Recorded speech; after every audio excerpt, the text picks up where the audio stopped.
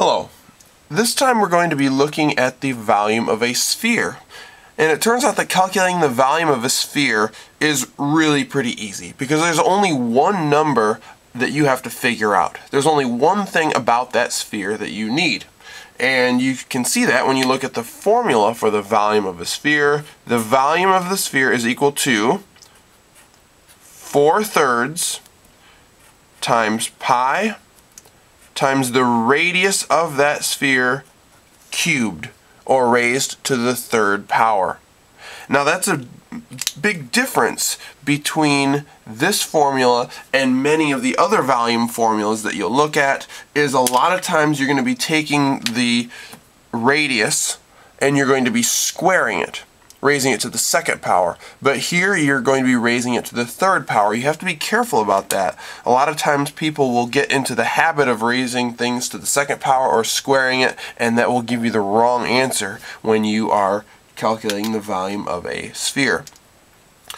So the only thing you need to figure out is you need to figure out what is the radius of this sphere before you can calculate the volume. And in a problem like this one right here, it's easy. It's given to us. The radius is simply the distance from the center of the sphere out to the edge.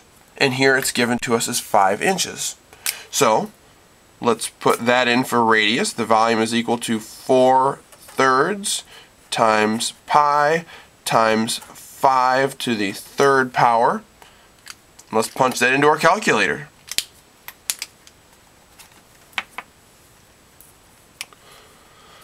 So we have 4 thirds. How do you enter that into your calculator? Calculators can handle fractions in different ways. The way I always like to do it is just to enter this in as if it's a division problem, 4 divided by 3. That seems to be the easiest way. It will work on all calculators. So 4 divided by 3 times pi. I'll use the pi key on my calculator. You could use 3.14 as an approximation for pi, but if you hit the pi key it will give you the exact value of pi, times 5 raised to the third power.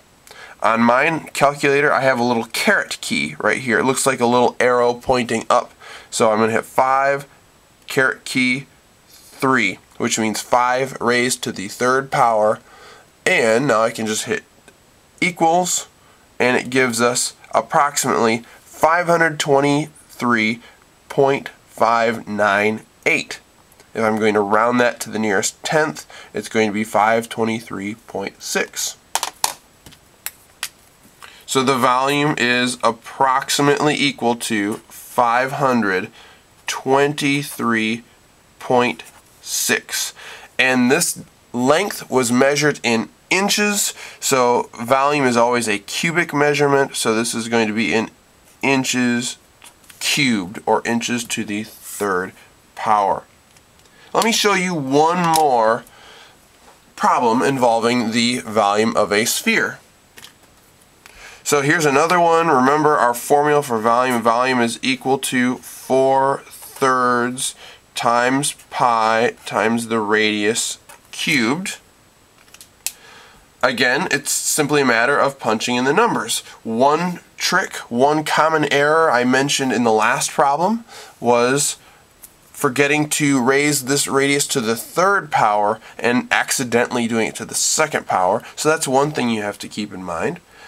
The other most common error in uh, volume of sphere problems is shown right here. In a problem like this, it gives us our diameter of this sphere as 18.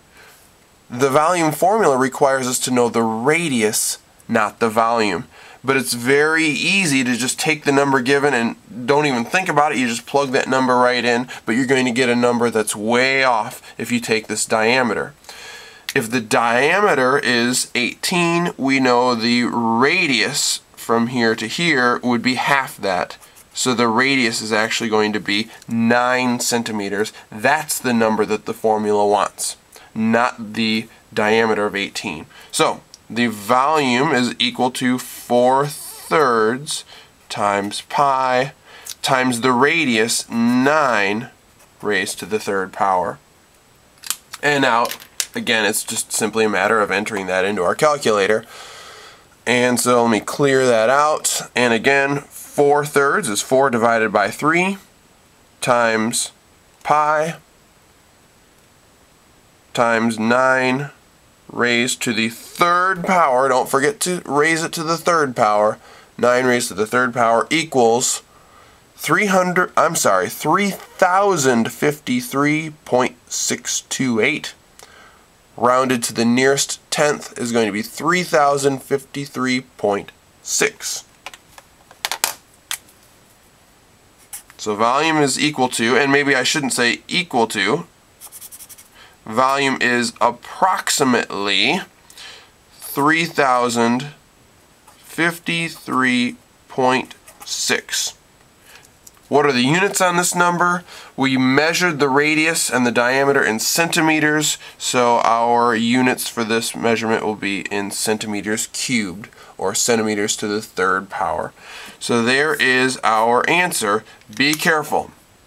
Don't forget to raise your radius to the third power, and also don't forget if they give you the diameter, cut it in half to get the radius and put the radius in there, not the diameter length. Be careful with that, and good luck.